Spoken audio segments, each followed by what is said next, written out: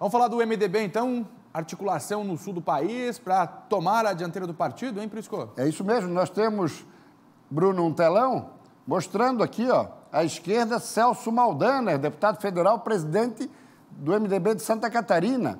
Depois, um pouco mais ao centro, Pedro Simon, ex-senador, mais de 30 anos no Senado da República, como representante do Rio Grande do Sul, homem inatacável, de uma retidão fantástica e um histórico do MDB.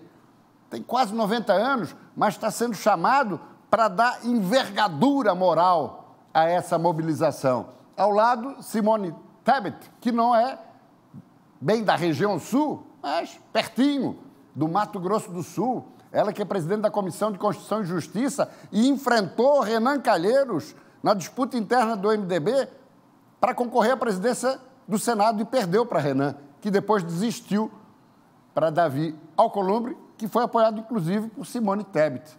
E depois lá à direita o ministro Terra, Osmar Terra, que inclusive recentemente esteve em Santa Catarina. Ou seja, é uma mobilização para tirar a poeira da prateleira e levantar o tapete do MDB, que está muito sujo. Próximo telão.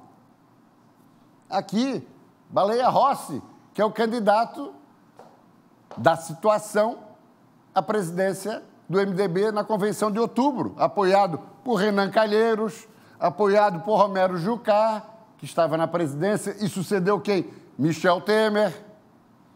Então, realmente, é o momento do MDB buscar um caminho. Porque aqui em Santa Catarina o resultado já foi colhido em 2018. Pela primeira vez o partido não foi para o segundo turno. Mauro Mariano sobrou diante da ventania do 17 que colocou Carlos Moisés com Gelson Merizio no segundo turno.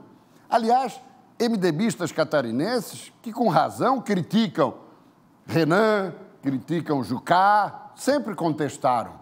Mas não venham agora, todos, sem exceção, todas as principais lideranças de Santa Catarina, não venham agora querer jogar pedra em Michel Temer, porque sempre estenderam o tapete vermelho a Michel aqui em Santa Catarina.